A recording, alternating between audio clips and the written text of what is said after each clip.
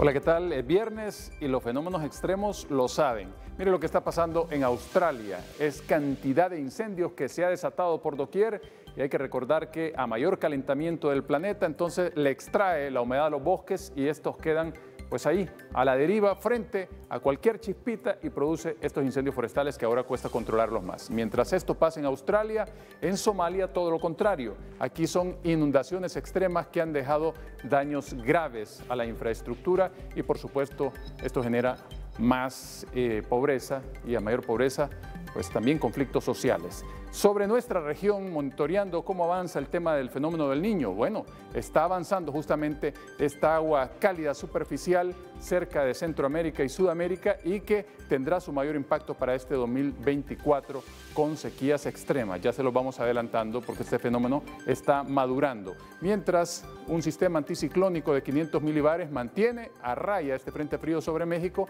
no hay humedad que desciende a Centroamérica y todo proviene justamente de una línea de inestabilidad, de una baja presión que llegó en la parte baja de Centroamérica y ha estado colando humedad a través de, gracias a Dios, y para esta jornada, cuáles son las posibilidades de precipitación. En Colón, un poco de Atlántida hacia horas de la tarde-noche y parte del occidente del país sobre Intibucá y Lempira, ahí esperamos chubascos dispersos, nada fuerte, son chubascos dispersos en esos sectores, mientras el resto continuará con una condición casi estable con temperaturas que eh, irán en ascenso y aquí vemos diferentes proyecciones, todas estas zonas en color celeste donde esperamos la lluvia hacia horas de la tarde y noche, e incluso colándose en algunas zonas de Olancho y puede ser también en Comayagua y aquí en Francisco Morazán en algunas partes altas nada más.